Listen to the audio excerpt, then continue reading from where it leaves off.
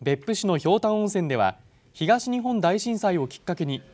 毎年この時期にチャリティーイベントを開催しています。今年は今日から2日間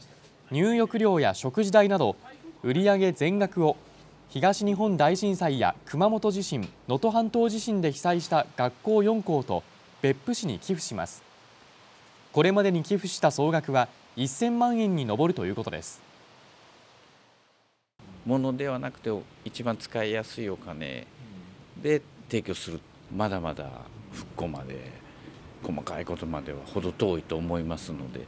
少しでもなんかできることやれれば。寄付を受け取った被災地の学校では防災用品や避難訓練地域のお祭りの開催経費などに役立てられています